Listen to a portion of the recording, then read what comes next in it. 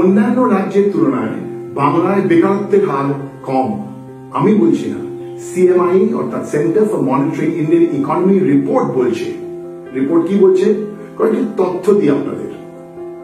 June মাসে ভারতে বেকারত্বের হার ছিল এগারো শতাংশ, হরিয়ানা তেত্রিশ শতাংশ, উত্তরপ্রদেশ নয় পয়েন্ট ছয় শতাংশ, কর্ণাটক নয় পয়েন্ট দুই শতাংশ, মধ্যপ্রদেশ আট পয়েন্ট দুই শতাংশ।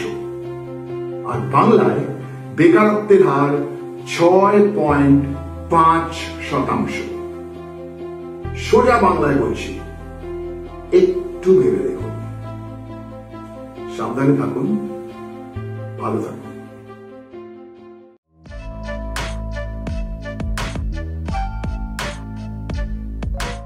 কেন্দ্রের কাছ থেকে বাংলার কত টাকা পাওনা? পর পর বলি আপনাদের, কেন্দ্রের সাহায্যপ্রাপ্ত প্রকল্প ছত্রিশ হাজার কোটি টাকা। ডেভলিউশন অফ ফান্ডস বাবদ পাওনা, তার মানে কেন্দ্র থেকে রাজ্য এগারো হাজার কোটি টাকা পাওনা। জিএসটি পাওনা, ওখানে তিন হাজার কোটি টাকা। ফুড সাবসিডি এবং অন্যান্য খাতে তিন হাজার কোটি টাকা। সব মিলিয়ে মোট পাওনা তিপ্পান্ন হাজার কোটি টাকা। সোজা বাংলায় বলছি, একটু ভেবে দেখুন। সাবধানে থাকুন, ভালো থাকুন।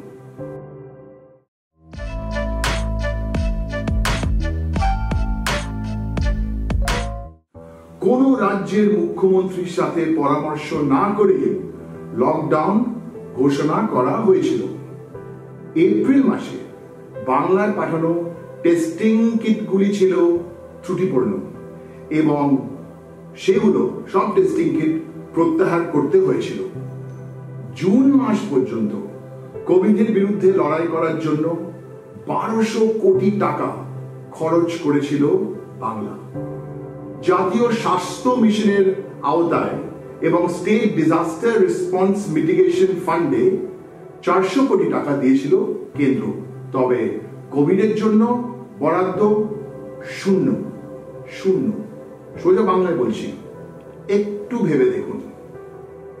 সাবধানে থাকুন। ভালো থাকুন।